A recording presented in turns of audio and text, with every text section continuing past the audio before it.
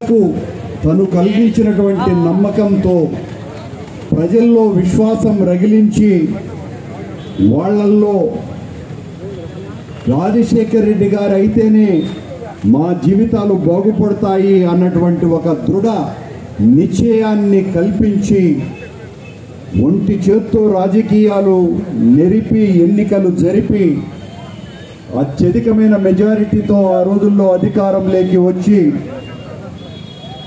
తన పరిపాలనా కాలమంతా జలయజ్ఞ ప్రదాతగా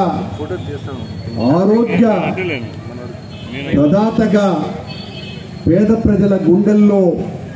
ఎనలేనటువంటి స్థానం కల్పించుకున్నటువంటి మనందరి ప్రేతమ నాయకుడు డాక్టర్ రాజశేఖర రెడ్డి గారు మనల్ని వీడి పద్నాలుగు సంవత్సరాలు పూర్తయినాయి.